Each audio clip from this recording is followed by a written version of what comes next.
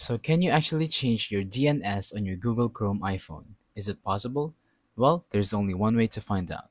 Let's go ahead and open up Chrome and then tap on our profile at the top right corner of the screen. So here we are. This is our settings, where it includes our most useful features of the Google Chrome app, our privacy and safety, our privacy and security being on top of them. So let's go ahead and turn that on. You can go ahead and tick off anything that you may want from here. You could even tap on safety check. But as you've noticed, there is no way to change your DNS on your Google Chrome for your phone.